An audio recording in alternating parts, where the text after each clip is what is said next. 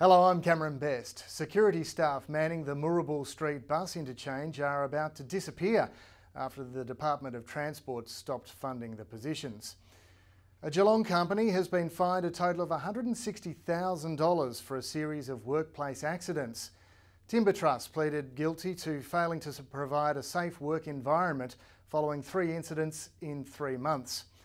The state's peak local government body will call on the state government to look at the problem of hoarding after the issue was raised by Geelong City Council.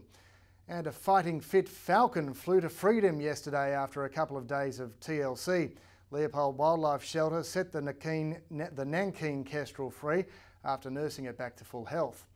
And in sport, we have a full preview of this weekend's GCA round, including the grand final rematch between Geelong City and St Albans Breakwater. Plus, we have a chat with South Barwon Cricket Club's English recruit, Ben Burkle, about his seamless transition to local cricket. All that plus your regular Friday features in the Geelong Advertiser.